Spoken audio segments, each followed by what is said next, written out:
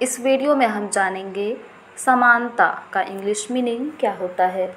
समानता का English meaning होता है इक्वलिटी और सिमिलरिटी आइए इसे हम एग्ज़ाम्पल से समझते हैं। Example people have some rights and one of them is right to equality यहाँ इक्वालिटी का मतलब है समानता।